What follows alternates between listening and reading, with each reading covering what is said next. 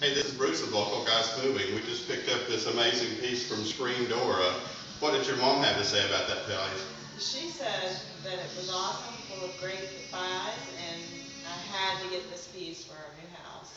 Great. She was right. It is pretty a unique place. If you get up there to check it out, it is cool. Uh, would you say we did a great job delivering it?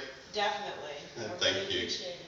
We appreciate the work. Everybody stay local. Seventy percent of all the money you spend locally stays local, and we all appreciate your business.